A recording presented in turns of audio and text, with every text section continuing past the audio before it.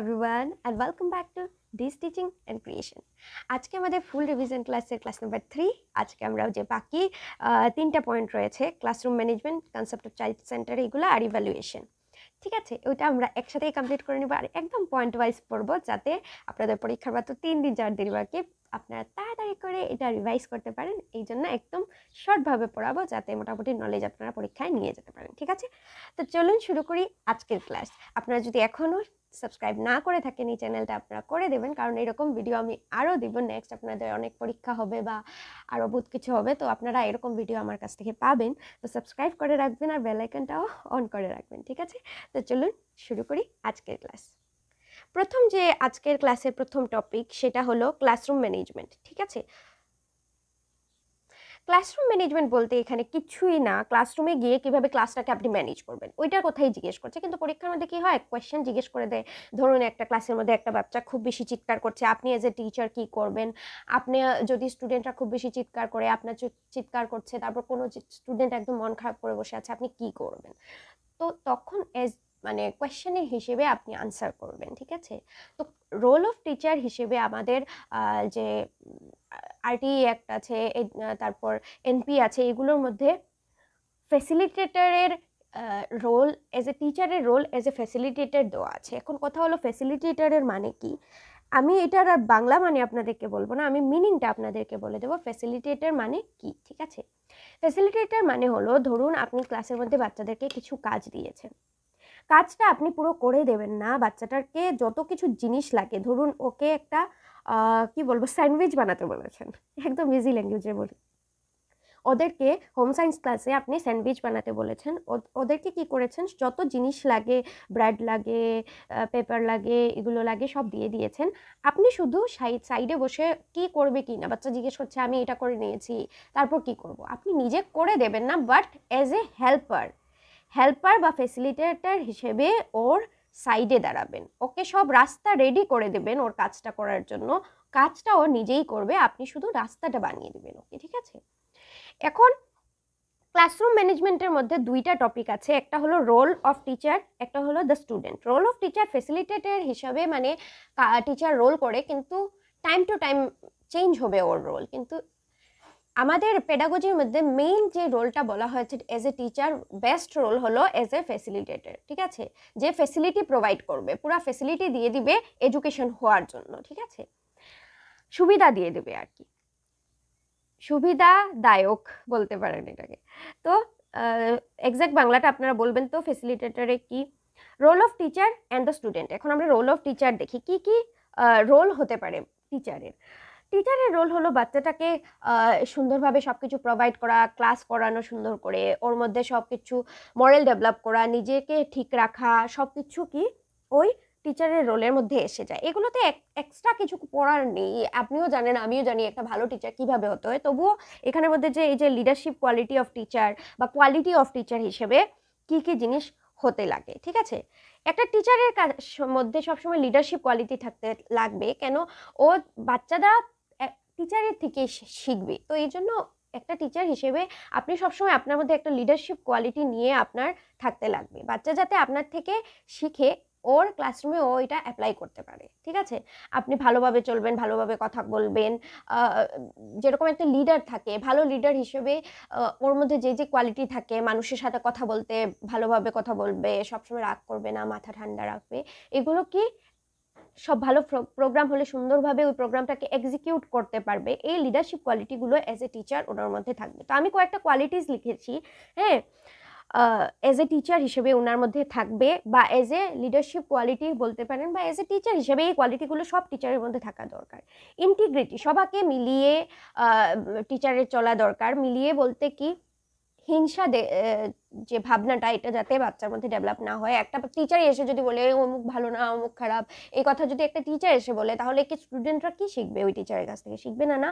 সবসময় ইন্টিগ্রেশন মিলে থাকার কথা টিচার বাচ্চাদেরকে শেখাতে হবে। এটা ইন্টিগ্রেশন ন্যাশনাল ইন্টিগ্রেশনই হোক মানে পুরো নেশনের অন্য নেশনের সাথে মিলা মিলা স্টেটের স্টেটের সাথে ইন্টিগ্রেশন ডিস্ট্রিক্টের ডিস্ট্রিক্টের সাথে ইন্টিগ্রেশন ঘরের ঘরের সাথে ইন্টিগ্রেশন মানে সবাই মিলে একসাথে থাকতে হবে। কমিটমেন্ট এজ এ টিচার যা আপনি কমিট করবেন, ওইটাকে ফুলফিল করতে হবে। বাচ্চাকে যদি কমিট করলেন আর ওইটা ফুলফিল না করলেন, তাহলে বাচ্চারা টিচারের মধ্যে এই বিশ্বাসটা গ্রো করবে না। আর ওনাকে যদি একটা লিডারের উপরে বিশ্বাস না থাকে, তো কাউ, কেউ কেউ ওনাকে ফলো করবে নাকি? এখন ধরুন, আজকে একজন পলিটিক্যাল লিডারই ওনার পার্টির মানুষদেরকে বলল, আমি এটা করব এটা করব, ভোটের পরে এটা করব এটা করব। কিন্তু উনি কিছুই করেননি। তো কি ওনার ওনার প্রতি লিডার লিডার হিসেবে রেসপেক্ট কি থাকবে নাকি অন্যদের? থাকবে না না। তো এই জন্য কমিটমেন্টটা দিলে কমিটমেন্ট করা এবং কমিটমেন্ট ফুলফিল করা দুইটো জিনিসই কি টিচারের মধ্যে থাকতে হবে। Strong communication skill communication skill ওই যে বললাম না অ্যাজ এ লিডার মানুষের কমিউনিকেশন স্কিল এখন কেউ কেউ আছে, হয়ে গেছে এটা হয়ে গেছে, ভালো কি বলব এমএলএ হয়ে গেছে বা জেডপিসি হয়ে গেছে, আর কেউ কিছু বলার কথা বললে ভালো করে বলতেও পারছে না। তো একজন ভালো লিডার হতে গেলে বা ভালো টিচার হতে গেলে এখন কেউ কেউ আছে অনেক ভালো পড়ায়, কিন্তু ক্লাসে গিয়ে পড়াতে পারে না, ঠিক আছে? তো অ্যাজ এ টিচার আপনার কমিউনিকেশন স্কিল আপনি কীভাবে কথা বলছেন, কীভাবে বোঝাচ্ছেন বাচ্চাকে, ওইটা অনেক বেশি ইম্পর্ট্যান্ট ঠিক আছে? তারপর হলো এক্সপার্টাইজ ও, আপনি যে সাবজেক্টে পড়াচ্ছেন, ওই সাবজেক্টে আপনার এক্সপার্টাইজ থাকতে হবে। আপনি ম্যাথস পড়াতে যাচ্ছেন আর আপনি কি বলব, ভালো করে টেবলস বলতে পারছেন না। সেভেন্টিন অ্যান্ড এইট মাল্টিপ্লাই করে দিচ্ছেন বাচ্চাদের সামনে। তো বাচ্চারা কি টেবল শেখার জন্য কি মোটিভেটেড হবে নাকি? হবে না না। যে সাবজেক্ট আপনি পড়াচ্ছেন, ওইটার মধ্যে আপনার এক্সপার্টাইজ থাকতে হবে। কারেজ যে কোনো ভুল জিনিস বাচ্চাকে চোখে, যেমন একজন এমএলএ ছেলে থাকল হ্যাঁ এমএলএ ছেলে দেখে ওনাকে কিছু বলতে পারছে না, ওকে প্যাম্পারিং করে রাখছে, আদর করে কথা বলছে, আর বাকি, বাকিদের সাথে খারাপ ব্যবহার করছে, এটা করলে হবে না। As a teacher as a teacher as a leader quality থাকতে হবে, আপনার ভেতরে কারেজ থাকতে হবে, ভুল জিনিসটাকে ধরিয়ে দেওয়ার, শুদ্ধ জিনিসটাকে অ্যাপ্রিসিয়েট করার কি থাকতে হবে কারেজ মানে সাহস থাকতে হবে পেশেন্ট থাকতে হবে।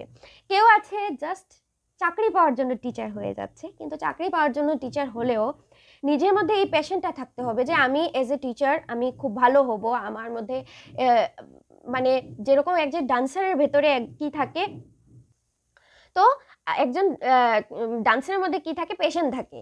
উনি কি মানে উনার মধ্যে এনজয়মেন্ট থাকে যখন উনি ডান্স করেন বা কাউকে ডান্স শেখান। তো অ্যাজ এ টিচার যখন আপনি ক্লাসরুমে যাবেন, তখন কি হবে? আপনার মধ্যে এই জিনিসটা থাকতে হবে যে আপনার পড়াতে ভালো লাগে। ঠিক আছে? যেমন খানসার যখন পড়ান খানসার যখন পড়ান তখন কি সবার দেখতে ইন্টারেস্ট লাগে? কেন?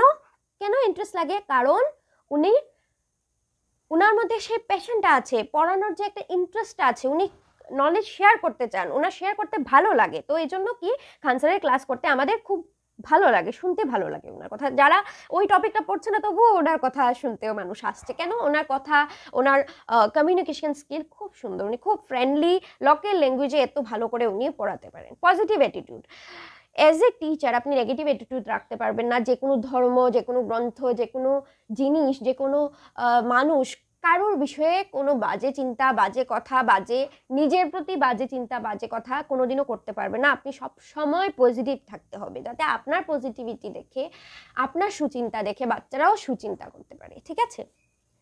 প্রবলেম সলভিং অ্যাবিলিটি যে কোনো অসুবিধা হলে একটা টিচার মধ্যে এই হঠাৎ করে স্কুলে একটা আগুন লেগে গেল বা একটা কোনো এমার্জেন্সি এসে গেল, একটা টিচারের ধরুন এমনভাবে আগুনটা লেগেছে যে বের হওয়ার আর রাস্তাই নেই। কিন্তু একটা টিচার হিসেবে আপনার মধ্যে এই ক্যাপাসিটিটা থাকতে হবে যে আপনি তাড়াতাড়ি করে একটা কিছু সলিউশন বার করবেন। ধরুন একটা শাড়িকে বেঁধে দিলেন বা কিছু করলেন বা একটা কাঠ ফেলে দিলেন ভেঙে বাচ্চাদেরকে সাথে নিয়ে বা ডেস্ক বেঞ্চকে একসাথে করে স্টেয়ার্স বানিয়ে দিলেন অন্য সাইড দিয়ে, যাতে বাচ্চারা স্লাইড করে নামতে পারে। এরকমভাবে problem solving ability as a teacher আপনার থাকতে হবে। তাহলেই আপনার, আপনাকে বাচ্চা ফলো করবে। এখানে শুধু লিডারশিপ কোয়ালিটি বলে না লিডারশিপ কোয়ালিটির মধ্যেও এগুলো সব আসে। আর অ্যাজ এ টিচার এইসব গুণ আসে। আরও টিচারের মধ্যে আরও কিছু গুণ আছে, যেমন উনি ভালো করে পড়াবেন টাইমলি ক্লাসে আসবেন, উনি পাংচুয়ালিটি মেনটেন করবেন, সবার সাথে মিষ্টিভাবে কথা বলবেন, নিজের ড্রেস আপ সুন্দর লাগ সুন্দর রাখবেন। এটা না যে ব্র্যান্ডেড কাপড় পরবেন বাট যে কাপড়টা পরছেন, ওই কাপড়টা যাতে ক্লিন থাকে প্রেস থাকে, এই জিনিসটা চিন্তা করতে হবে, ঠিক আছে? যাতে বাচ্চারাও আপনার থেকে ক্লিনলিনেসটা শেখে। Time and task management next টপিকটা আছে। আই হোপ আপনি কোয়ালিটি অফ টিচারটাও আপনারা বুঝে গেছেন। তারপর হলো time and task management time and task management আজকে আর কিছু বলার নেই। আমরা গতদিন লেসন প্ল্যানে পুরো দেখেছি কীভাবে আমাদের টাইম মেনটেন হবে। লেসন প্ল্যানে অবজেক্টিভ লিখে আনব, কোন সময় কি কতটুকু টাইম দিব, কোন টপিকটা পড়াতে, এগুলো আগের থেকে আমরা ডিসাইড করে তারপর লেসন প্ল্যান বানাবো। তাহলেই আমাদের টাইম অ্যান্ড টাস্ক ম্যানেজমেন্টটা হবে, ঠিক আছে? তারপরে যে নেক্সট টপিকটা আছে চাইল্ড সেন্টার টিচিং ওইটা আমরা এখন দেখি। চাইল্ড সেন্টার টিচিং আর কম্পিটেন্সি বেসড টিচিং ঠিক আছে? চাইল্ড সেন্টার টিচিং মানে বুঝাই যাচ্ছে বাচ্চাকে কেন্দ্রে রেখে পড়ানো। আগের দিনে কি হতো? শুধু টিচার সেন্টার্ড টিচিং হতো। আমরা ওই যে প্রজেক্ট মেথড পড়েছিলাম লেকচার মেথড পড়েছিলাম, এগুলোর মধ্যে লেকচার মেথড তারপরে ডেমনস্ট্রেশন মেথডগুলো কি ছিল? টিচার সেন্টার ছিল। আর প্রজেক্ট মেথড আর ডেমনস প্রজেক্ট মেথড আর হিউরিস্টিক মেথড এই দুইটা মেথড ছিল কি? চাইল্ড সেন্টার্ড মেথড ঠিক আছে? তো আগে আমি টিচার সেন্টারটা বলে দিই। টিচার সেন্টার মানে হলো যেখানে টিচার ফোকাসে থাকেন। মানে উনি কথা বলছেন, উনি বলছেন, উনি কোয়েশ্চেন করছেন, বাচ্চারা আনসার দিচ্ছে। মানে ওনার মধ্যেই ফোকাসটা দেওয়া, ঠিক আছে? ইনস্ট্রাক্টরে কথা বলে, আর স্টুডেন্ট লিসেন করে। মানে ইনস্ট্রাক্টরকে এখানে? টিচার টিচার কি করেন? কথা বলেন আর বাচ্চারা শুনে। টিচার সেন্টারে এটাই চলে। যেমন lecture method story telling method demonstration method এগুলো সব কি? টিচার সেন্টার্ড মেথড আর চাইল্ড সেন্টার্ড মেথড হলো স্টুডেন্ট ফোকাসে থাকে ইনস্ট্রাক্টর মডেলস মানে ইনস্ট্রাক্টর কি করেন? বাচ্চাদেরকে হেল্প করেন বাচ্চাদেরকে দেখিয়ে দেন। ওই যে বললাম না এজ এ ফ্যাসিলিটেটার কাজ করেন। আর স্টুডেন্ট কী করে? একজন আরেকজনের সাথে কথা বলে গ্রুপ গ্রুপ স্টাডি করে বা টিচারের সাথে কথা বলে বাচ্চারা পড়াশুনো করে। এই এটার মধ্যে কোন কোন মেথড আসবে? যেমন group work group discussion peer tutoring একজন উইক স্টুডেন্ট মানে গ্রুপ স্টাডির জন্য দিয়ে দিল কয়েকটা উইক স্টুডেন্ট আর ধরুন দুইটা উইক স্টুডেন্ট দুইটা ভালো স্টুডেন্ট একটা অ্যাভারেজ স্টুডেন্ট সবাই মিলে একসাথে বসেছে, ওরা ডিসকাশন করে করে একজন আরেকজনের সাথে কি করছে? পিয়ার টিউটরিং করছে। প্রজেক্ট মেথড গ্রুপ সবসময় প্রজেক্ট মেথড আমরা কি করেছিলাম? যে প্র্যাগমেটিভ ভিউ থেকে বানানো হয়েছে জন ডিউইর প্র্যাগমেটিভ এডুকেশনাল সাইকোলজির রেজাল্ট হলো প্রজেক্ট মেথড আর এটা অ্যাকচুয়ালি কে দিয়েছিলেন? ডাব্লিউ এইচ কিলপেট্রিক মনে আছে নাকি আপনাদের? ডাব্লিউ এইচ কিলপেট্রিক দিয়েছিলেন প্রজেক্ট মেথড ঠিক আছে? তো এগুলো কি আপনাদের চাইল্ড সেন্টার্ড মেথডে এগুলো আসে। আমরা তো চাইল্ড সেন্টার্ড মেথড মোটামুটি পড়েই নিয়েছি। প্লে ওয়ে মেথড মানে হলো খেলাধুলো করে ডিসকাশন মানে চার পাঁচজন মিলে ডিসকাশন করবে, ওইটার থেকে কিছু একটা রেজাল্ট পাবে, তারপর এটা টিচারকে বলবে। গ্রুপ ওয়ার্ক সবাই মিলে একসাথে কাজ করবে। পিয়ার টিউটরিং একজন আরেকজনকে, ওই যে বললাম না, একটা, দুইটা ভালো স্টুডেন্ট একটা অ্যাভারেজ স্টুডেন্ট দুইটা উইক স্টুডেন্ট ওদেরকে সবাইকে মিলে, মিলিয়ে বা স্লো লার্নারকে মিলিয়ে কি করল? একটা গ্রুপ বানিয়ে দিল টিচার আর ওই গ্রুপে ওরা পড়াশুনো করল একসাথে, ঠিক আছে? একজন আরেকজনকে পড়ালো টিউটরিং মানে কি? পড়ালো, ঠিক আছে? তো এগুলো গেল চাইল্ড সেন্টার মেথডের তো পড়ার মতো এত কিছু নেই বাট নলেজটা থাকতে হবে, ভালো আনসার করতে গেলে, ঠিক আছে? চাইল্ড সেন্টার্ড মেথড পড়তে গেলে টিচার সেন্টার্ড মেথড পড়তেই হবে, তাই পড়িয়ে দিলাম একটু যাতে আপনারা রিলেট করতে পারেন আর মনে থাকে, ঠিক আছে? কম্পিটেন্সি বেসড টিচিংয়ের মধ্যে কম্পিটেন্সি মানে হলো the ability to do something successfully and efficiently কোনো কিছু করার যে আমাদের ক্ষমতাটা থাকে, ভালোভাবে, সুন্দরভাবে করার, ওইটাকে বলে কি? কম্পিটেন্সি বেসড মানে কম্পিটেন্সি বলে আর কি কম্পিটেন্সি আর আমাদের করার ক্ষমতার মানে আমাদের কীরকম কিছু কোনো কিছু করার ক্ষমতা সাকসেসফুলি ওইটার হিসেবে যে টিচিংটা দেওয়া হয়, ওইটাকে কম্পিটেন্সি বেসড টিচিং বলে। সোজা কথায় এই কথা। এখন আমরা দেখি যে অ্যাকচুয়ালি কম্পিটেন্সি বেসড টিচিংটা কী। এটাকে একদিক থেকে বলা হয় যে লার্নার সেন্টার এটা।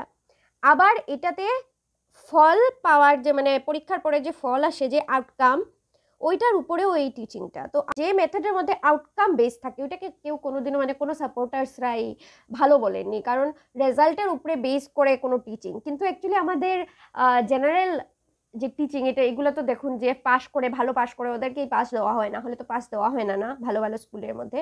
তো ওই কথাই বলা হচ্ছে এখানে কম্পিটেন্সি বেস টিচিংয়ের মধ্যে কি করা হয়? বাচ্চাদেরকে ওদের অনেক রকমের অ্যাবিলিটি ডেভেলপ করা হয়, যেমন ওর ডিসিশন মেকিং ওর সেলফ অ্যাওয়ারনেস মানুষের সাথে রিলেশনশিপ সব সাবজেক্টের মধ্যে মাস্টারি মানে যেমন ম্যাথসে ভালো সায়েন্সে ভালো তারপর কেউ কেউ আছে কোনো একটা সাবজেক্টে ভালো, ওইরকমভাবে ওদের কে কিছু কিছু ক্রাইটেরিয়া দেওয়া হয়, যেমন একজনকে মিনিমাম দুইটা সাবজেক্টে ভালো হতে হবে বা সব স্কুলে আলাদা থাকে মিনিমাম দুইটাতে ভালো হতে হবে, না হলে ম্যাথসে ভালো হতে হবে সায়েন্সে ভালো হতে হবে, কেউ যদি কোনোটাতেই ভালো না থাকে, ওর মধ্যে যে কোয়ালিটি আছে, যেমন ও গানে ভালো, নাচে ভালো মানে ওদেরকে অনেক রকমের ডেভেলপমেন্ট করানোর এই কম্পিটেন্সি বেসডে চেষ্টা করা হয় যাতে বাচ্চার মধ্যে অনেক রকমের ডেভেলপমেন্ট হয়। Allow student to advance based on their ability ওদের যে এবিলিটি আছে নাচে ভালো, যেমন তারে জমিন পেড়ের মধ্যে ও আর্টে খুব ভালো ছিল। কিন্তু অন্য অন্য যে স্কিলগুলো আছে মানে ম্যাথস সায়েন্স সবই তো আমির খান ওকে শিখিয়েছিলেন না। তো কি মানে ওকে সব কিছু শেখাতে হবে আর যেটার মধ্যে ওর ভালো এবিলিটি আছে ওইটা ভালো করে ওকে শেখাতে হবে যাতে ওর ফিউচারে গিয়ে এইটাতে ও মানে কেরিয়ার বানাতে পারে আর কি, ঠিক আছে? To master a skill or competency at their at their own pace regardless of environment ওদের চিন্তা এনভায়রনমেন্টের মধ্যে চিন্তা না করে ওরা কি করবে? ওরা যেটাতে ভালো, যে স্কিলে ভালো। ধরুন, একজন খুব ভালো চুল কাটে। এখন ও পার্লারের কাজ শিখতেই পারে, কিন্তু ওর ফ্যামিলি ওকে সাপোর্ট করবে না। তো ও কি করবে? ওর এনভায়রনমেন্টের চিন্তা না করে স্কুলের মধ্যে যাতে এক্সট্রা কারিকুলার বা ভোকেশনাল এই যে আমাদের এখন এনপি নতুন এনপি যেটা এসছে টু থাউজেন্ড টোয়েন্টিতে এনইপি নিউ এডুকেশন পলিসি হ্যাঁ? ওইটার মধ্যে কি বলা হয়েছে? যে ভোকেশনাল এডুকেশন মানে এক্সট্রা কারিকুলার অ্যাক্টিভিটিসের জন্য কি স্কুলের মধ্যে একটা মানে কোর্স থাকবে আর কি। সব স্ট্রিম তো থাকবেই। আর ভোকেশনাল এডুকেশনের জন্য কি থাকবে? একটা স্ট্রিম থাকবে, ঠিক আছে? যাতে বাচ্চারা যেটাতে ওরা ভালো, ওদের নিজের পেইসে নিজের টাইমে ওরা কি করতে পারে? অ্যাডভান্স হতে পারে। This method is tailor to meet different learning abilities মানে ওদেরকে আলাদা আলাদা রকমের এবিলিটিস শেখানো। কীভাবে ও নিজের রাগ কন্ট্রোল করতে পারবে, কীভাবে ও নিজের বিষয়ে জানতে পারবে, কীভাবে ও, যেটাতে ও ভালো ওইটা করতে পারবে, কীভাবে ও বেসিক যে জিনিসগুলো আছে জীবনে করার জন্য, যেমন ম্যাথসে একটু পারতে হবে সায়েন্স একটু পারতে হবে সোশ্যাল সায়েন্স পারতে হবে, এগুলো সব ফুলফিল করতে হবে একটা বাচ্চাকে কম্পিটেন্সি বেসডের আন্ডারে এটা বলা হয়েছে। Can lead to efficient student outcome এখন যদি এত সব কিছু যদি একটা বাচ্চা শিখে যায় তাহলে তো ওর জীবনে ও নিশ্চয়ই খুব ভালো সাকসেসফুল হতে পারবে না। এই জন্য তো এই কনভেন্ট স্কুল ভালো ভালো কনভেন্ট স্কুলের মধ্যে সব রকমের শিক্ষা হয়। মানে আমি আমার দিদির বাচ্চা, ও দেরাদুনে থাকে, শুনলাম আজকে ওর কি, আজকে না কালকে ওর কুকিং কম্পিটিশন এত ছোট বাচ্চা ক্লাস ফোরে পড়ে ওর কুকিং কম্পিটিশন হচ্ছে স্কুলের মধ্যে। তো আমরা এই জিনিসগুলো কখনো পাইনি। তো এই যে ওরা নিশ্চয়ই এই যে মানে ওভারঅল ডেভেলপমেন্ট কম্পিটেন্সি বেস যাতে সব কিছু স্কিল ওদের ডেভেলপ হয় হয়, খুঁজে ওরা করছে, ঠিক আছে? এখন এটাতে কিছু ডিসঅ্যাডভান্টেজ বলেছেন কেউ কেউ, কিন্তু এটাকে পজিটিভলি নিলে তো পজিটিভলি হয় এই মেথডটা লার্নার সেন্টারডভাবে হয়, বাচ্চাদেরকে নিজের মতো করে শেখানোর স্কোপ দেওয়া হয়। কিন্তু এটা ডিসঅ্যাডভান্টেজ কি? আউটকাম বেসড মানে কোনো কোনো স্কুলে এটা রুল বানানো হয়ে যায় যে তুমি যদি এই এই জিনিসে পাস না করো, এত এত মার্কস না পাও, তাহলে তুমি পরের ক্লাসে যেতে পারবে না। তো এটা একটা পজিটিভ সাইডও আছে নেগেটিভ সাইডও আছে। পজিটিভ সাইড এটাই যে বাচ্চারা অনেক চিন্তা এসে যাবে, ওরা ভালো করে পড়াশোনা করবে। কিন্তু যদি কোনো বাচ্চা ম্যাথসে উইক থাকে, ও ম্যাথসটা পারল না, তো তো ওর তো নিজের উপরে বিশ্বাসটা চলে যাবে না। তো এই জন্য আউটকাম বেসটাকে একটু মানে ক্রিটিসাইজ করা হয়েছে। আর ওই তো বললাম না ফুলফিল যদি ক্রাইটেরিয়া হয়, তাহলে ওকে বিয়ন্ড মানে হায়ার লেভেলে যাওয়ার জন্য ইয়ে দেওয়া হয়। তো এই দুটা ওদেরকে কি দেওয়া হয়েছে? ক্রাইটেরিয়া মানে বেসড বলে এটাকে মানে একটু ক্রিটিসাইজ করা হয়েছে আর কি। তো এটার মধ্যে আরও কিছু জিনিস আসে আসে আর কি সিবিটির আন্ডারে মানে কম্পিটেন্সি বেসড এডুকেশনের মধ্যে নিজের বিষয়ে অ্যাওয়ারনেস মানে ওর নিজের স্ট্রেংথ কী, ওর উইকনেসেস কী, ওর রাগ বেশি নাকি, ও কথা বেশি বলে নাকি যদি বলে তাহলে কীভাবে ওইটাকে ঠিক করবে? এই জিনিসগুলো নিজের বিষয় নিজের স্ট্রেংথ এবং নিজের উইকনেসের বিষয়ে জানা। সেলফ ম্যানেজমেন্ট ওর উইকনেসটাকে ম্যানেজ করা। যেমন কেউ কেউ আছে মানুষের সামনে গেলে ভয় পেয়ে যায়, কথা বলতে পারে না। তো ওর নিজেকে ম্যানেজ করতে গেলে কি করতে হবে? এটাও ওর শিখতে হবে কিন্তু। কারণ ও বড় হয়ে ইন্টারভিউয়ে যাবে। ইন্টারভিউয়ের সামনে যদি ভয় করে গিয়ে বসে থাকে, না, আমার ভয় লাগছে তাহলে হবে নাকি হবে না না সেলফ ম্যানেজমেন্ট শিখতে হবে। রিলেশনশিপ স্কিল মানে ও কারোর বন্ধুদের সাথে হোক মা বাবার সাথে হোক সোসাইটির সাথে হোক স্কুলে হোক, সবার সাথে টিচারদের সাথে কীভাবে ও রিলেশনশিপ মেনটেন করছে, ওই জিনিসটাও কিন্তু ওর একটা স্কিলের মধ্যে আসবে। সোশ্যাল ইয়ারনেস ও সোসাইটির মধ্যে কীভাবে রোল প্লে করছে, এটাও একটা ওর character responsible about decision making মানে ও যেমন একটা ডিসিশন নিল যে আজকে আমি স্কুলে গেলে এরকম পড়ব, পড়ে এরকম পরীক্ষা দিব, তারপর পাশ করব। ধরুন আপনি এজ এ স্টুডেন্ট আপনি এখন টেট পরীক্ষা দিবেন। এখন আপনি পরীক্ষায় খুব ভালো মার্কস পেয়েছেন, তো আপনি বলবেন হ্যাঁ আমি ভালো করে পড়াশোনা করেছি, তাই ভালো মার্কস পেয়েছি। আর যদি কোনো কারণে কেউ এরকম হোক না, সবাই ভালো মার্কস পান, তো যদি কোনো কারণে আপনার একটু কম মার্কস এসে গেলো, তখন আপনি কি করবেন? ওই দোষটা কার কাছে দিয়ে দিবেন? অন্য কেউ কাছে যে, আমি পড়তে পারিনি, এই করতে পারিনি, সেই করতে হ্যাঁ কারণ তো থাকতেই পারে।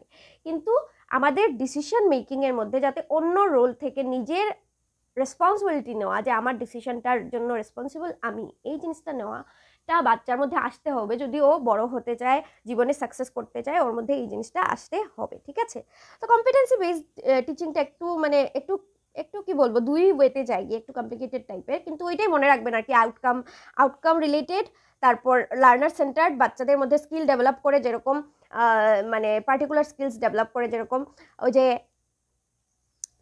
কি বলে ওই মুভিটার নাম কি? তারে জমিন পরের মধ্যে যেরকম, ওর ইয়েটা আছে ওই যে ড্রয়িং স্কিলটা আছে, ওইটা ওর টিচার ভালোভাবে ডেভেলপ করেছেন আর বাকিগুলোতে উনি কি করেছেন হেল্প করেছেন যাতে ও লাইফে সাকসেস হতে পারে। মানে আমরা একটাতে মাস্টারি আনব, আর বাকিগুলোতে যাতে আমরা চলতে পারি জীবনে ওই রকম আমাদের মধ্যে আসতে লাগবে। এইরকম টিচিংটাকেই কি বলে? কম্পিটেন্সি বেসড টিচিং আমাদের ability to do something successfully and efficiently ঠিক আছে? তারপর যে নেক্সট টপিকটা আছে সেটা হলো ইভ্যালুয়েশন মানে আমাদের এখন সব কিছু টিচিং টিচিং হয়ে গেল, এখন তো আমরা ইভ্যালুয়েশন করব মানে পরীক্ষা টরীক্ষা নিব তো, তাই না? তো এখন আমরা দেখি ইভ্যালুয়েশন কীভাবে করব, ঠিক আছে? তারপর যে টপিকটা আসলো সেটা হলো কন্টিনিউয়াস অ্যান্ড কম্প্রিহেন্সিভ ইভ্যালুয়েশন আমি একদম তাড়াতাড়ি চলে যাচ্ছি যাতে আপনারা তাড়াতাড়ি রিভাইজ করতে পারেন। এটা কি হলো একটা process of assessment and evaluation মানে এটা কি একটা পরীক্ষার মতন জিনিস ইভ্যালুয়েশন করার যে একটা প্রসেস মানে এটা একদিনে শেষ হয়ে যায় না, একটা পরীক্ষা নিলাম, এরপর শেষ হয়ে গেল, এরকম না। এটা একটা প্রসেস যেটা চলতে থাকে, ঠিক আছে? আর এটা কিসের আন্ডারে ম্যান্ডেটেড করা হয়েছে মানে একদম কম্পালসারি করে দেওয়া হয়েছে, সেটা হলো আরটি অ্যাক্ট টু থাউজেন্ড নাইনের আন্ডারে ঠিক আছে? আর এই ইভ্যালুয়েশনটা কি? পুরো বছর চলতে থাকে। কি? পুরো বছর চলতে থাকে। এই ইভ্যালুয়েশনটা পুরো বছর চলতে থাকে। ক্লাসের মধ্যে ক্লাস টেস্ট নেওয়ার থেকে ধরে আর পরীক্ষার ফাইনাল পরীক্ষা নেওয়া পর্যন্ত সব কিছু কি এই সিসির আন্ডারে এসে যায়, ঠিক আছে? অবজেক্টিভ কি? Making learning process student friendly মানে লার্নিং প্রসেসটাকে বাচ্চাদের বন্ধু বানাতে হবে। বাচ্চারা যাতে ভয়ে ভয়ে থাকে না। এখন রোজ যদি আমি একটা পরীক্ষা নেই, বাচ্চারা কি হবে? ওরা এই প্রসেসটাতে ওরা মিলে যাবে। ওরাও ওইভাবে পরীক্ষা দিতে ফ্রেন্ডলি হয়ে যাবে। ওদের আর ভয় লাগবে না পরীক্ষা টরীক্ষা দিতে। মানে পরীক্ষা এমনভাবে নিতে হবে যাতে ওরা ফিল করে না যে এটা পরীক্ষা আর কি। এমনি তো যখন আমরা ফাইনাল পরীক্ষা নিব তখন তো বুঝবেই এটা পরীক্ষা। বাট ক্লাসে যেমন হঠাৎ করে কোয়েশ্চেন করে নিলাম, আমি বুঝতে দিলাম না যে আমি এটাও এজ এ পরীক্ষা নিচ্ছি। হ্যাঁ? তো এইভাবে কি হবে? আমাদের লার্নিং প্রসেসটাকে ইন্টারেস্টিং করতে হবে স্টুডেন্ট ফ্রেন্ডলি করতে হবে। ঠিক আছে? ডিফিকাল্টি লেভেল অফ টিচিং বা লার্নিংটাকে রিডিউস করতে হবে। মানে যদি আমি একটু একটু করে পরীক্ষা নিয়ে নিই, একসাথে যেমন আগের দিনে মা ওরা বলতেন ক্লাস এইট নাইন আর টেন মিলে মেট্রিক পরীক্ষা হতো। এখন কি হয়? শুধু টেনের মেট্রিক পরীক্ষা হয়। তার আগে ছিল নাইন টেনের পরীক্ষা। তো আগে কি ছিল? একসাথে বড় পরীক্ষা হতো, তখন ওইটার ডিফিকাল্টি লেভেলটা কঠিন অনেক বেশি হতো আর কি। আর এখন শুধু টেন হয় মানে ওদের ছোট করে দেওয়া হয়েছে পরীক্ষাটা, এই জন্য আমাদের জন্য এখন এটা কি হয়ে গেছে? ইজি হয়ে গেছে। তো এই জন্য যদি আমরা পুরো বছরই পরীক্ষা, ছোটোখাটো ছোটোখাটো পরীক্ষা নিতেই থাকি তো কী হবে? ওদের জন্য এটা ইজি হয়ে যাবে ডিফিকাল্টি আর থাকবে না। রোজ যদি একটা পরীক্ষা দেয়, ওর সব কিছু শেখা থাকবে ফাইনাল পরীক্ষা দিতেও ভয় পাবে না। ডায়াগনোস ডায়াগনোসিং লার্নিং ডিফিকাল্টি যদি আমি রোজ একটা পরীক্ষা নেই, যার মধ্যে কি প্রবলেম আছে ম্যাথসে কার প্রবলেম সায়েন্সে কার প্রবলেম ওই যে ডায়াগনোস্টিক টিচিংয়ের মধ্যে সিসি এর আন্ডারেই কিন্তু ডায়াগনোস্টিক টিচিং রিমিডিয়াল টিচিং এগুলো মানে যত রকমের পরীক্ষা আছে। Unit test formative assessment summative assessment সব কিচ্ছু এসে যায় এই সিসির আন্ডারে যত রকমের যত পরীক্ষা আছে ক্লাসের ক্লাস টেস্টটাও পর্যন্ত সিসির আন্ডারে এসে যায়। তো এখানের মধ্যে একটা আমি চার্ট বানিয়েছি, এই দেখুন। Continuous and comprehensive evaluation continuous মানে কি? থ্রু আউট দ্য ইয়ার মানে পুরো বছর চলতে থাকবে। কম্প্রেহেন্সিভ মানে পুরো বড় মতে মানে খুব বড় রকমের শিক্ষা। কম্প্রেহেন্সিভ মানে হলো বড় রকমের, ঠিক আছে? কম্প্রেহেন্সিভ মানে বড় রকমের মানে স্কোলাস্টিক এবং কোকোলাস্টিক মানে কারিকুলার এবং কো কারিকুলার বাচ্চার পড়াশোনার দিকে এবং আদার অ্যাক্টিভিটিস যেমন সিঙ্গিং ডান্সিং ডিবেট তারপর সমাজের সাথে কীরকম ও মিলছে ওর ক্লিনিংনেস কীরকম মানে ওভারঅল ডেভেলপমেন্টের কথা, বড় রকমের ডেভেলপমেন্টের কথা, বড় বড় রকমের ইভ্যালুয়েশন কী করা হয়, এই সিসির আন্ডারে করা হয়, আর ইভ্যালুয়েশন মানে তো অ্যাসেসমেন্ট পরীক্ষা নেওয়া। তো সিসির মধ্যে কি হয়? আমি এখন একটা ওভারঅল বলে দেই সিসিটা ম্যান্ডেটেড মানে কম্পালসারি বানানো হয়েছে আরটি এক টু থাউজেন্ড নাইনের সময়। আর ইভ্যালুয়েশন কি হয়? পুরো বছর চলতে থাকে, এইটাতে বাচ্চাদেরকে লার্নিং ফ্রেন্ডলি বানানো হয়, বাচ্চা বাচ্চাদের বাচ্চাদের লার্নিংটাকে বাচ্চাদের ফ্রেন্ড বানানো হয়ে যায়, ঠিক আছে? রিডিউস করা হয় ডিফিকাল্টি লেভেলটাকে ছোট করা হয় রিডিউস করা হয়, ছোট ছোট পরীক্ষা নেওয়া হয় diagnose diagnostic teaching remedial teaching এটার মধ্যে এসে যায় formative assessment summative assessment assessment for learning as learning এগুলো সব কিছু কি এসে যায়? সিসির আন্ডারে এসে যায়। সিসি মানে হলো থ্রু আউট দ্য ইয়ার হয়, আর এটাতে কারিকুলার এবং কো কারিকুলার দুইটাই এসে যায়। মানে পড়াশোনার সাথে অন্য যে অ্যাক্টিভিটিস নাচ, গান কবিতা, এগুলো সবও দেখা হয়। আর এটার কি সব কিছু মিলিয়ে এই পরীক্ষাটা হয়, ঠিক আছে? তারপর সিসির পরে যে লাস্ট টপিকটা আছে, এটা শুধু আজকের জন্য লাস্ট না, এইবারের টেটের জন্য লাস্ট ক্লাস হবে। লাস্ট টপিক হবে, সেটা হলো evaluation formative and summative evaluation যেটা লাস্ট টপিক এখন আমরা দেখব। এই ফর্মেটিভ অ্যান্ড সামেটিভ ইভ্যালুয়েশনটাও কিন্তু কন্টিনিউয়াস অ্যান্ড কম্প্রেহেন্সিভ ইভ্যালুয়েশনের আন্ডারে আসে। বললাম না, যত রকমেরই টেস্ট নেওয়া হোক ইউনিট টেস্ট হোক, ছোটো টেস্ট হোক, গান কম্পিটিশন হোক এভরিথিং কন্টিনিউয়াস অ্যান্ড কম্প্রেহেন্সিভে এসে যাবে। কেন? ওইটা স্কলাস্টিক এবং ককলাস্টিক দুটোটাই ছিল। কারিকুলার অ্যান্ড কো কারিকুলার দুটোই ছিল। এই জন্য কি? এটার মধ্যেই আসবে ফর্মেটিভ অ্যান্ড সামেটিভ ইভ্যালুয়েশন ঠিক আছে? তো ফর্মেটিভ ইভ্যালুয়েশনটা কি? এটার সাইডে দেখুন লেখা আছে ফর্টি পার্সেন্ট এই ফর্টি পার্সেন্টের মানে কি? বাচ্চা ফর্টি পার্সেন্ট পেতে হবে এটা? না। ফর্টি পার্সেন্ট মানে কি? যে বাচ্চাটার যে পরীক্ষা নেওয়া অ্যাসেসমেন্ট মানে ওই পরীক্ষা করা বা টেস্ট করা, ওইটাই অ্যাসেসমেন্ট ঠিক আছে? তো এখন ফর্মেটিভ অ্যাসেসমেন্টটাকে সরি এখানের মধ্যে আমি জাজমেন্ট লিখে নিয়েছি। জাজমেন্টটা আমরা সামেটিভ ইভ্যালুয়েশনে দিব, আর এখানে ফিডব্যাকটা আমরা ফর্মেটিভ ইভ্যালুয়েশন এখন কথা হলো ফিডব্যাক মানে কি? ফিডব্যাক মানে হলো কোনো রকমের কোনো মানে আমরা আছে না, কোনো কিছু দেখলাম, আমার ভালো লাগলে, খারাপ লাগলে, কীরকম লাগল, না লাগল, আমরা একটা ফিডব্যাক দিই। ঠিক না, নাকি? তো ফিডব্যাক মানে কি? আমাদের ধারণা ব্যক্ত করা যে একটা বাচ্চার পড়াশোনাটা কীরকম চলছে। ও কি মানে ম্যাথসে কীরকম, ও সায়েন্সে কীরকম, কোনটাতে ওর বেটার হচ্ছে, কোনটাতে ওর খারাপ হচ্ছে, এই জিনিসগুলো বাচ্চাকে ধরুন একটা রহিম নামে বাচ্চা আছে।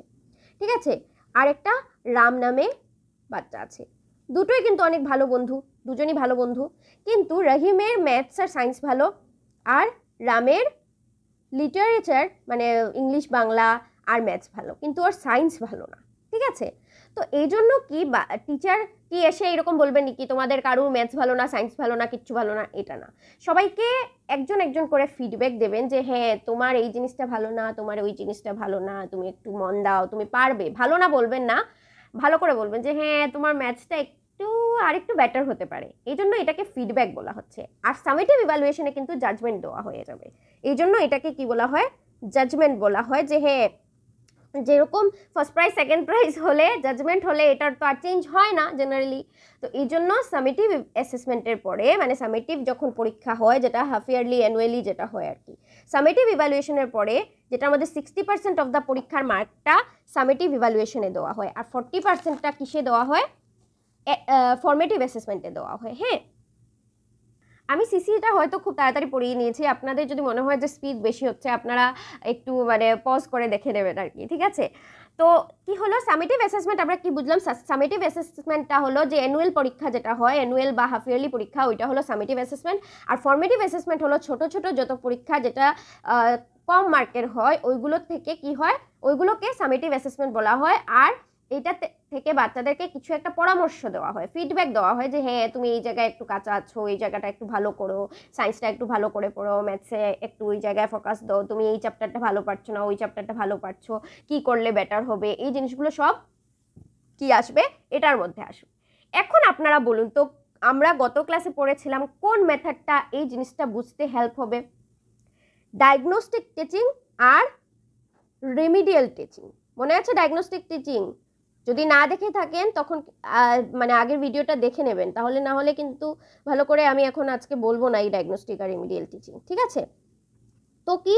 এই ডায়াগনস্টিক টিচিং আর রিমিডিয়াল টিচিংটা কে তার সাহায্যে আর কি বাচ্চাদেরকে ওদের প্রবলেম আইডেন্টিফাই করে ওদেরকে রিমিডিয়াল টিচিং দেওয়া হবে। আর এটাও কি হবে? ফর্মেটিভ অ্যাসেসমেন্টের আন্ডারে আসবে, ঠিক আছে? আর সামেটিভ অ্যাসেসমেন্টের আন্ডারে আসবে, ওই তো হাফ ইয়ারলি অ্যানুয়ালি বললাম, ঠিক আছে?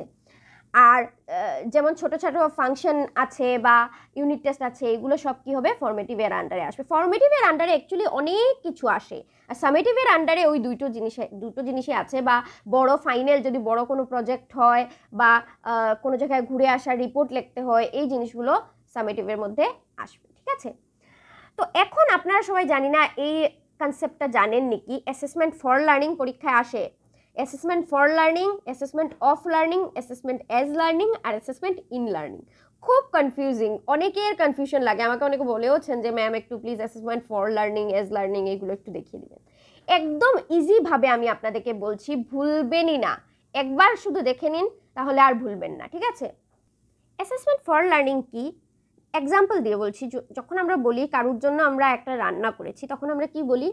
I made a dish for her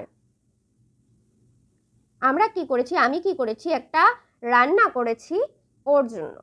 হার হার মানে তার জন্য।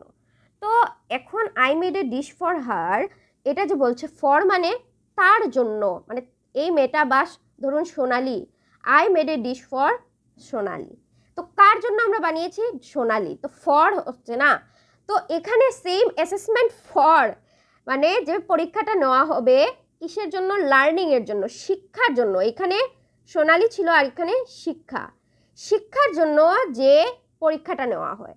তো এখন শিক্ষার জন্য কোন পরীক্ষাটা নেওয়া হবে? যেটা শিক্ষাকে হেল্প করবে, যেমন ডায়াগনস্টিক টিচিং আর রেমিডিয়াল টিচিং কেন? কীভাবে হেল্প করবে? মনে হচ্ছে ডায়াগনস্টিক টিচিং আমরা কি বলেছিলাম যে বাচ্চাটার মধ্যে কি অসুবিধা আছে, কি না? ওইগুলো আমরা আগে ডায়াগনোস করব, বের করব, তারপর ওদেরকে আমরা ওর হিসেবে যে সাবজেক্টে ও উইক ওই সাবজেক্টে আমরা ওকে টিচিং দিব, ঠিক আছে? তো এই যে ডায়াগনস্টিক টিচিং রেমিডিয়াল টিচিং বা ছোট ছোট পরীক্ষা ফিডব্যাক দেওয়ার মতন পরীক্ষা, এগুলো কিসের জন্য হয়? আমাদের শিক্ষার জন্য হয়। ঠিক না, নাকি? মানে আরও যাতে আমাদের পড়াটা ভালো হয়, এই জন্য এই পরীক্ষাটা হয়। ঠিক না, নাকি?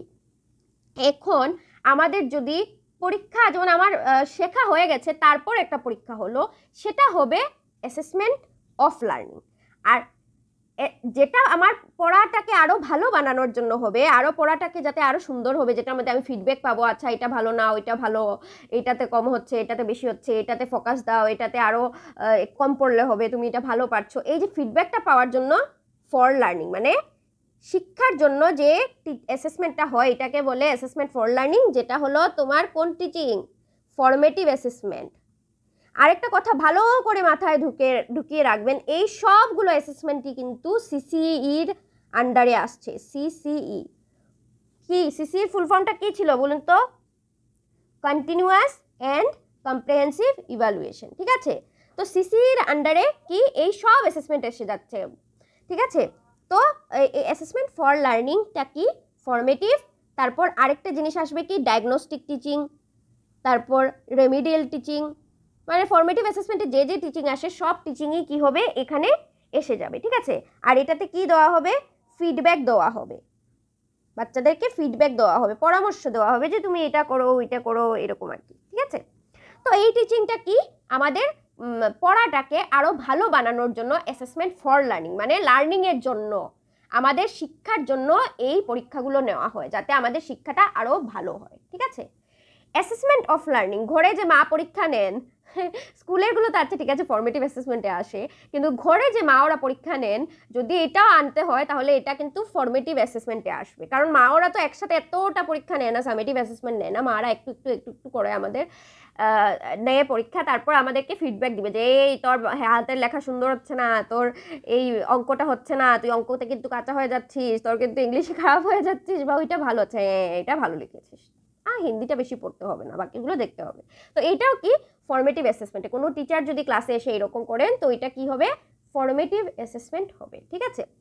তারপর হলো অ্যাসেসমেন্ট অফ লার্নিং মানে এখন লার্নিং হয়ে গেছে লার্নিংয়ের মানে লার্নিং যেটা হয়ে গেছে, ওই লার্নিংয়ের অ্যাসেসমেন্ট হবে মানে আমরা যেটা শিখে গেছি শিখে গেছি, এখানে এই লার্নিংয়ের কথা হলো, শিখে গেছি অলরেডি আমরা শিখে গেছি আর ওই শিখে যাওয়া অলরেডি শিখে যাওয়া জিনিসটার কি হবে? অ্যাসেসমেন্ট হবে এখন, ঠিক আছে?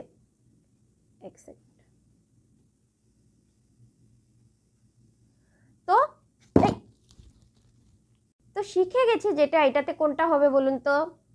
সামেটিভ অ্যাসেসমেন্ট মানে অলরেডি আমরা সব শেখা শেষ, এখন ফাইনাল পরীক্ষা হবে। ফাইনাল পরীক্ষার আগে মেট্রিক পরীক্ষা, তারপর ওই যে ক্লাস টুয়েলভের পরীক্ষা, এগুলো কি? এগুলো সব সামেটিভ অ্যাসেসমেন্ট। কারণ তখন আমাদের পড়া পুরো শেষ, এখন আমরা পরীক্ষা দিব। সামেটিভ অ্যাসেসমেন্ট কিসে আসবে তাহলে? আমাদের অ্যাসেসমেন্ট অফ লার্নিং। ঠিক আছে? তারপর হলো assessment as learning. Assessment as learning মানে কি জানেন? অ্যাসেসমেন্ট অ্যাজ লার্নিং হলো মানে শিক্ষা তো হচ্ছে। এখন নিজের মধ্যে কি চেঞ্জ আসছে না আসছে যে পড়াশুনো করে যে নিজের মধ্যে কি গুণ আছে, কি দোষ আছে, এটা নিজে যখন আমরা অ্যাসেস করি যে হ্যাঁ আমার আমি টেট পরীক্ষা দেব, আমার কিন্তু অঙ্কটা একটু কাঁচা, আমার বা আমার ইভিএসটা কাঁচা, বা আমার সোশ্যাল সায়েন্সটা কাঁচা, কিন্তু আমি কিন্তু ইংলিশে ভালো, আমি কিন্তু বাংলায় ভালো, আমি কিন্তু সিডিপিতে ভালো, বা আমি ম্যাথসে ভালো, এই যে অ্যাসেসমেন্টটা করা, নিজের নিজে নিজে নিজে যে অ্যাসেসমেন্ট করা, নিজে নিজে নিজে নিজের নিজে নিজের যে অ্যাসেসমেন্ট করা, যেটাকে বলে সেলফ অ্যাসেসমেন্ট কি বলে? সেলফ অ্যাসেসমেন্ট সেলফ অ্যাসেসমেন্ট করাটাকে কি বলে? অ্যাসেসমেন্ট অ্যাজ লার্নিং ঠিক আছে? তারপর লাস্ট যেটা রইল, সেটা হলো assessment in learning assessment in learning মানে হলো, এটা ছিল আমাদের মানে আমরা তো অ্যাসেসমেন্ট করছি, এটা হলো মানে একটু একটু পড়িয়ে নিয়েছি আমরা। একটু একটু পড়ানো শেষ শেষ, তারপর আমরা একটা ইউনিট টেস্ট নিচ্ছি। আমরা বলে দিলাম যে কালকে তোমাদের ইউনিট টেস্ট হবে। হ্যাঁ তোমরা কিন্তু ইয়ে করে আসবে। কালকে তোমাদের ডিবেট কম্পিটিশন হবে। তোমরা কিন্তু প্রিপেয়ার হয়ে আসবে। কিন্তু অ্যাসেসমেন্ট ইন লার্নিং মানে হলো ক্লাসরুমের ভিতরেই যখন ভেতরে ক্লাস চলছে ক্লাসে টিচার আছেন আমরা সবাই এখানে বসে আছি মানে বাচ্চা বাচ্চারা সবাই বসে আছে হ্যাঁ তো বাচ্চারা সবাই বসে আছে আর এখানের মধ্যে টিচার ক্লাসে আসেন। তখন টিচার কি করবেন? গ্রুপ বানিয়ে দিবেন বাচ্চাদেরকে। যে হ্যাঁ তোমরা বলো, আজকে আমি যে কী টপিক পড়ালাম, তোমরা সবাই একজন আরেকজনের সাথে ডিসকাশন করো, কথা বলো এবং আমাকে জানাও যে তোমাদের গ্রুপের মধ্যে কে এই টপিকের মধ্যে কাঁচা বা কার কার কে ভালো বলতে পেরেছে। তো এই জিনিসটা কি হচ্ছে? অ্যাসেসমেন্ট ইন লার্নিং যখন হয় মানে হলো পিয়ার গ্রুপের মধ্যে মানে বন্ধুদের মধ্যে এই ইয়েটা হয় আর কি অ্যাসেসমেন্টটা হয়। আর যাদের মধ্যে প্রবলেম আসবে, কি করবে? ভালো স্টুডেন্ট ওই যে বললাম একটু আগে, ভালো স্টুডেন্ট আর মিডিওকার স্টুডেন্ট আর যারা মানে আর কি একটু উইক স্টুডেন্ট মিডিওকর মানে এভারেজ স্টুডেন্ট আর যারা একটু উইক স্টুডেন্ট ওদের সবাইকে একটা গ্রুপের মধ্যে রেখে দিলেন।